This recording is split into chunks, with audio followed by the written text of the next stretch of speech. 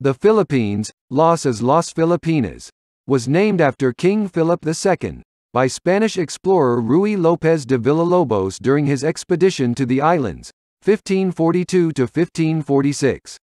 It's the various political, social, technological, commerce and industry changes in Europe that pushed Spaniards to discover more lands to trade, colonize, and invest in.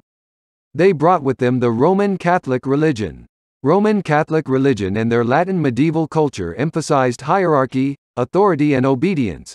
Herneta 1988, 15.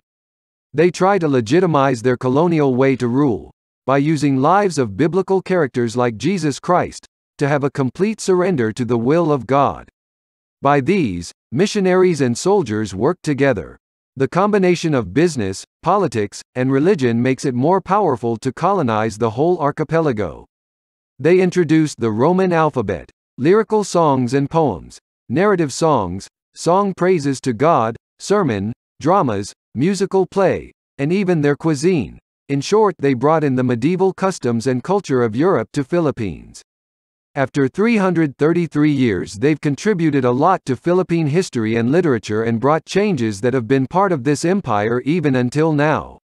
And in this era the known Jose Rizal, national hero, was born along with his writings.